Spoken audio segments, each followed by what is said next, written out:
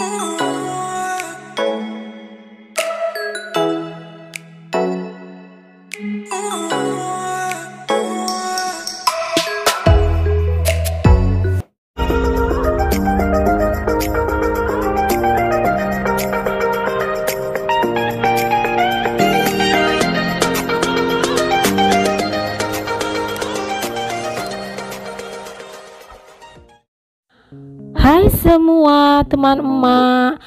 Jumpa lagi dengan emak di youtube channel emak Hesti Juliana.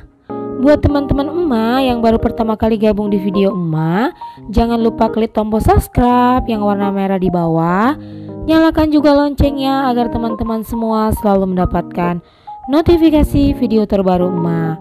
Ikutin terus ya, selamat menonton dan buat teman-teman emak yang mau kenal dekat dengan emak, boleh ya main-main ke Instagram emak yang ada di layar. Follow Instagram emak Meluis Pelly.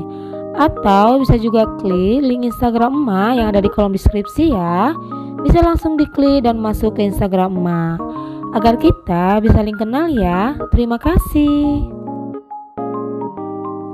Di video kali ini, emak berbagi rutinitas emak sebagai berumah tangga di pagi hari. Emak mau ucapkan terima kasih buat teman-teman emak yang sudah mengklik dan menonton video emak yang sederhana ini. Semoga videonya bermanfaat, menginspirasi, dan kalian terhibur. Jika suka dengan videonya, jangan lupa di like ya. Dan beri komentar positif untuk membangun channel emak ke depannya. Terima kasih. Pagi ini emak mulai beres-beres ya di kamar emak yang serba warna biru ya. Jadi kalau si kecil emak itu cepat bangun emak bisa ya langsung beresi kamarnya. Nah kalau dia telat bangun ini kamarnya belakangan ya emak beresin. Nah ini kamar emak sudah rapi ya. Dan sekarang emak lanjut beberes di kamar anak emak. Nah ini keadaan pagi di kamar anak-anak ya. Jadi anak-anak itu sudah bangun dan mau siap-siap ya untuk belajar daring jadi kalau pagi itu wajib emak ya yang beresin kamarnya karena mereka itu mau persiapan ya untuk uh, belajar daring ya teman-teman ya. Jadi kemarin itu ada yang komen ya di video emak sebelumnya beberes di kamar. Kenapa tidak anaknya yang beberes? Nah sebenarnya anak emak beberes kamar itu malam ya karena mereka itu malam santai jadi mereka wajib ya beresi kamar sebelum tidur. Nah kalau pagi emaknya ya yang beresin karena kalau nungguin mereka pasti ini lama ya rapinya jadi berserakan jadi emak aja yang beresi biar cepat ya teman-teman ya karena kalau rapi kamarnya kita enak ya memandang. Nah ini emak sudah selesai ya beres-beres di kamar dan sekarang lanjut ya emak ke dapur biru. Jadi dapur biru emak ini masih berantakan ya teman-teman ya karena kalau pagi eh, emak belum sempat ya beberes jadi inilah penampakan dapur biru emak ya. Karena kalau malam itu emak tidak ada kegiatan ya beberes. Jadi itu pagi dikumpulin semua piring kotornya dan wajib dicuci ya pagi hari. Dan emak sudah naikkan ya itu kukusan besar untuk masa air minum ya. Dan ini piring kotornya emak angkat ke kamar mandi karena emak mencuci piring masih lesehan ya di kamar mandi. Nah ini kamar mandi e, kedua ya di rumah emak karena emak punya dua kamar mandi ya teman-teman ya. Jadi ini emak mencuci piringnya di kamar mandi kedua ya teman-teman ya. Dan emak ada rencana untuk makeover tapi belum ada waktu ya. Mudah-mudahan nanti ada waktu emak sempatkan ya untuk makeover kamar mandi ini. Jadi ini piring uh, kotor dari malam ya karena emak itu malam gak ada kegiatan. Jadi pagi seperti ini dikumpulkan baru dicuci ya semuanya. Nah emak sudah selesai ya mencuci piring dan sudah emak susun ya piringnya dan ini lanjut ya emak ke dapur biru. Jadi emak mau masak sarapan ya untuk anak-anak emak e, persiapan belajar daring.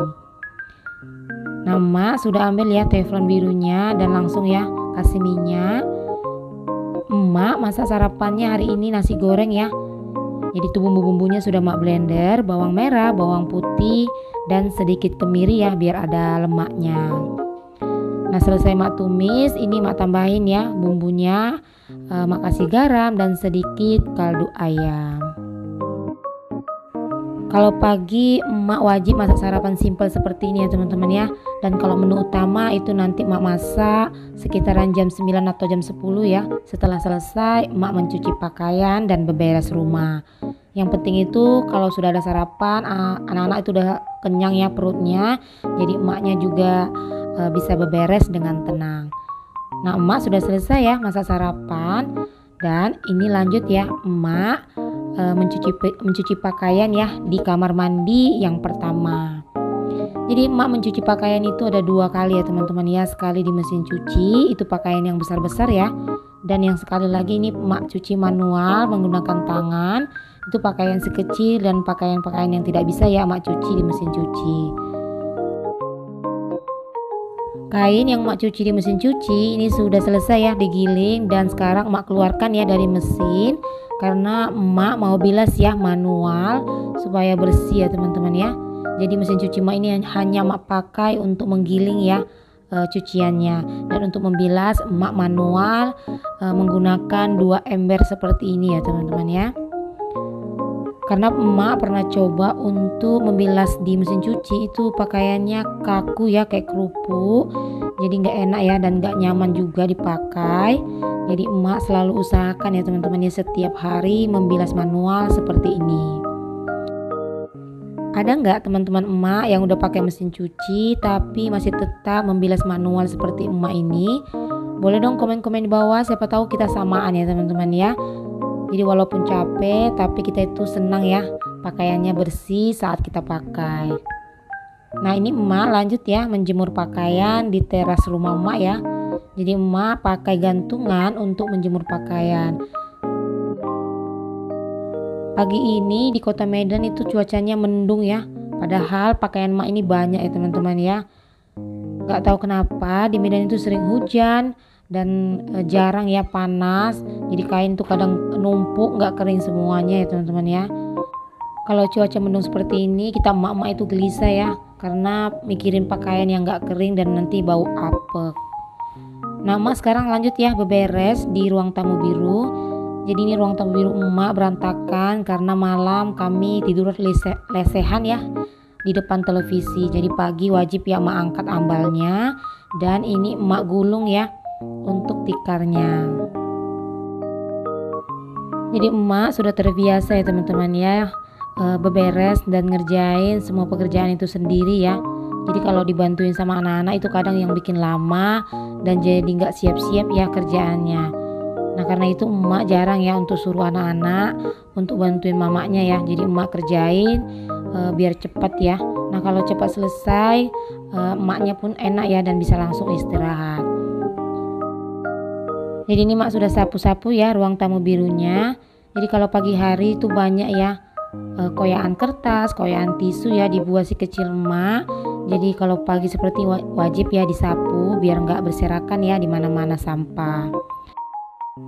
Nah ini emak lanjut ya beberes di ruang makan biru ya. Jadi di sini juga berantakan kalau pagi hari. Jadi ini emak beres-bereskan dan e, balikan ya semua perlengkapan yang e, tidak pada tempatnya ya biar kembali rapi ruang makan biru emak. Nah kalau sudah rapi seperti ini emak lanjut ya lap-lap untuk meja dan lemari birunya. Jadi kembali bersih semua perlengkapan di ruang makan biru.